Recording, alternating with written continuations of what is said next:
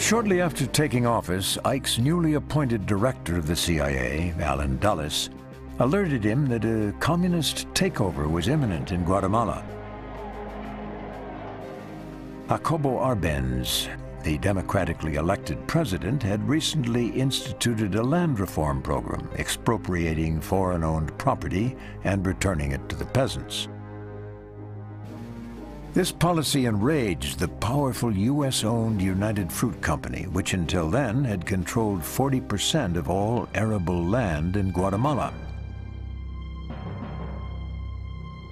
The fruit company boasted powerful friends in the U.S. administration, including both Allen Dulles and his brother John Foster Dulles, now Secretary of State, both of whom had worked as lawyers for United Fruit.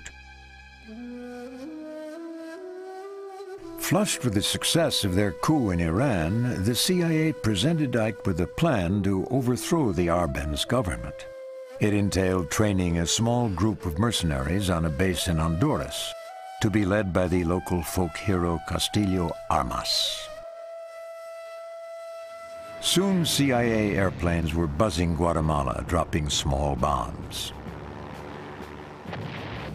When Arbenz appealed to Moscow for help, Eisenhower ordered a naval blockade.